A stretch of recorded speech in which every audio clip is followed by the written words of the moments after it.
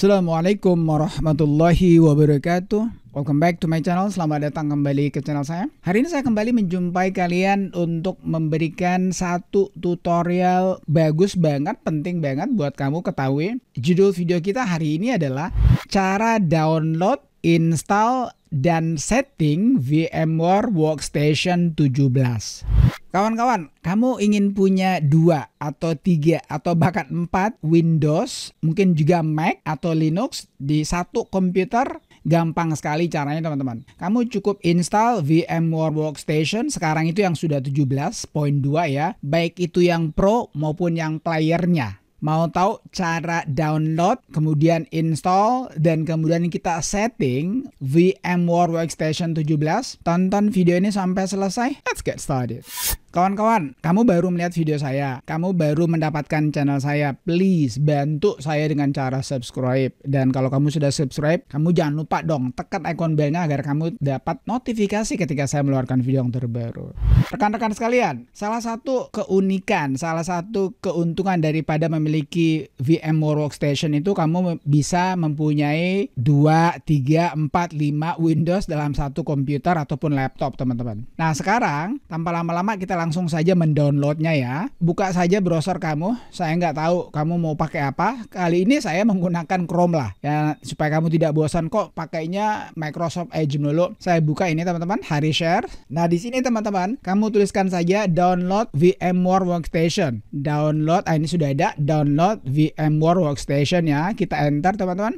Nah, di sini teman-teman, ini ada dua pilihan. Kamu lihat sini ya, di ini ada dua pilihan ya. Ada yang Pro-nya, Workstation Pro, ada juga yang playernya. Apa bedanya? Ini yang Pro berbayar tentunya, yang ini Workstation playernya tentu saja yang gratisan. Saran saya teman-teman, kalau kamu ingin mencoba selama 30 hari yang Pro ini, kamu pokoknya gini lah, kamu mau pakai yang player nantinya atau yang Pro, saran saya kamu pakai yang Pro ya. Kamu download yang Pro ini, setelah 30 hari kamu nggak suka atau kamu nggak punya uang atau gimana ya jadikan saja jadi playernya teman-teman. Ya ini hanya fitur aja yang membedakan. Semuanya sama kecuali fitur tentunya. Kita coba masuk kemari teman-teman.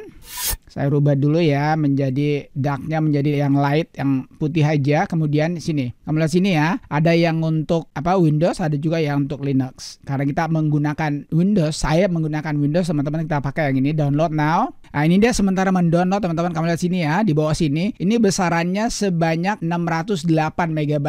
Nah, karena saya sudah punya teman-teman, baru-baru saja lima hari yang lalu saya downloadnya. Sekarang saya pause aja supaya saya punya video nggak terlalu lama. Bukan saya pause, saya cancel aja ini. Saya cancel, ya batalin aja. Sekarang kita lihat yang saya sudah download teman-teman. Lihat sini ya, saya tutup aja ini. Saya buka yang saya sudah download ini dia teman-teman. Ya, kamu lihat sini ya, ini besarnya 620 622 MB, bahkan ini lebih besar lagi. Nah, setelah kamu downloadnya sekarang langsung kita install sama-sama teman-teman. Kita install ya. Yes. Ini butuh waktu lama teman-teman karena dia besaran itu 1,5 GB kalau nggak salah. Kita next aja. Kita accept, kita terima ini teman-teman. Terms and conditionnya, persyaratannya. Next lagi. Nah ini install Windows Hyper-V. Nah, kalau ini nah ini ini ini yang saya sudah bilang saya tiga ini teman-teman install Windows Hyper-V platform ya automatically. Kalau kamu tidak ingin workstation kamu lambat teman-teman, kamu jangan cek ini ya. Kalau kamu cek ini berarti dia nanti akan melambat jadinya. Jadi kamu ini biarkan saja lalu kamu next kan Nah, di sini teman-teman, kamu terserah kamu mau pilih di mana ya. Kalau kamu masih ada kalau kamu masih punya cukup banyak DC kamu, kamu taruh aja DC lah. Nah, kebetulan DC saya masih ada 179 GB. Di D saya ada 128 GB. Saya taruh DC aja teman-teman, nggak apa-apa. Tak next kan.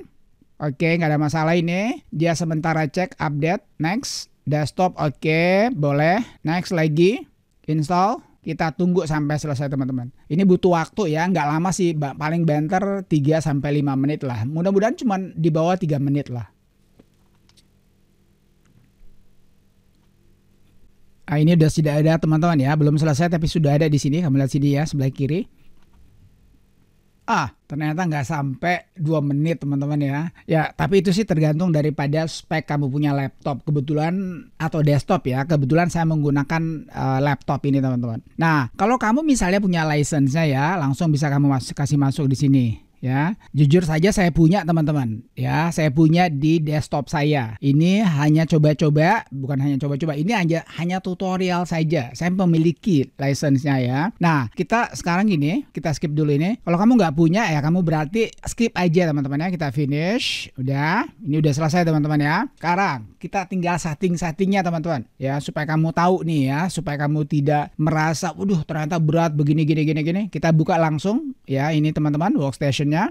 Nah, kamu lihat sini ya, dia minta lagi saya untuk memasukkan saya punya license. Nah, sekarang kamu pilih aja ini aja. I want I want to try virtual workstation 17 for 30 days. Jadi saya ingin mencobanya selama 30 hari. Kamu sudah lihat ini 30 hari ini sangat generous banget. Ini sangat murah hati banget. Baik hati sekali teman-teman. Biasanya kan rata-rata aplikasi itu paling banter 7 hari. Bahkan ada yang cuma 3 sampai 4 hari saja. Ini 30 hari loh. Kamu bisa evaluasi ya. Ini bukan main ya. Kita continue.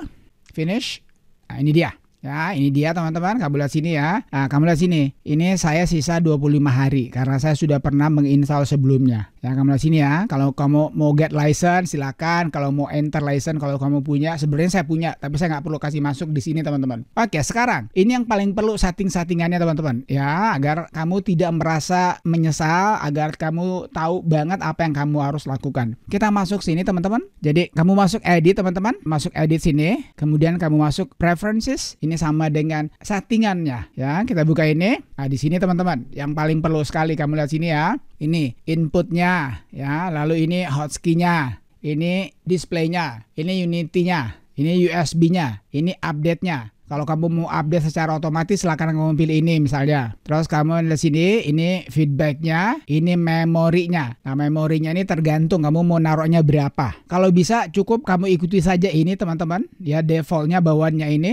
Lalu priority-nya. Ya ini priority-nya kamu mau take snapshot atau apa, lalu ini device-nya. Ini kita belum menginstall Windows ya. Nanti kalau kamu sudah install satu Windows lagi teman-teman, di sana juga akan ada lagi settingan yang terbaru yang terbarunya untuk Windows tersebut. Terserah ya, di sini kamu bisa install Windows 7, Windows 8, 10, bahkan Windows 11 lagi. Kebetulan kamu tahu ya, lihat sini teman-teman ya. Saya menggunakan Windows, saya menggunakan Windows 11. Kamu lihat sini ini Windows 11 teman-teman. Ya kamu tahu lah ini Windows 11. Nah, rencananya teman-teman saya akan menginstall di sini juga Windows 11 juga atau mungkin juga Windows 10 terserah saya lah. Yang jelasnya ya di desktop saya yang saat itu saya install Windows 11 itu beta channel teman-teman. Nah di sini rencana mungkin saya menginstall yang namanya dev channel ya. Kamu lihat sini lagi, kita lihat sini lagi kembali teman-teman. Ya ini sudah sudah selesai. Nah yang ini teman-teman, yang VM ini nanti kalau kamu sudah memiliki Windows di sininya ya apakah itu Windows 10 atau 11 tadi saya sudah bilang baru di sini nanti akan ada lagi yang namanya uh, settingannya. Ini ada bacaan setting lihat teman-teman sini ya. Kamu lihat sini setting. Jadi settingannya itu mau berapa gigabyte RAM yang kamu ingin berikan dan dan sebagainya dan lain sebagainya. Nah karena ini masih kosong teman-teman nanti kita akan lanjut bagaimana cara install misalnya Windows 10k Windows 11k Windows 8k atau Windows 7 di VMware Workstation ini. Jadi saya kira cukup itu teman-teman ya. Jadi kalau kamu masih ada pertanyaan ya ini nanti kita akan membuat ini ya new virtual machine ini. Alright, I guess that's it. Saya kira itu aja teman-teman ya video kita hari ini. Cara download, install, dan setting VMware Workstation 17 baik itu yang Pro maupun yang playernya. Saran saya kalau kamu ingin mendownloadnya teman-teman, kamu download yang Pro-nya. Ya meskipun nanti pada akhirnya kamu ingin berubah pikiran, ingat kamu punya 30 hari untuk mencoba yang Pro-nya. Kalau kamu masih ada pertanyaan seputar video ini ataupun tutorial ini, kamu tanyakan saja di kolom komentar. Thank you for watching folks. Thank you for watching friends. Peace. Assalamualaikum warahmatullahi wabarakatuh.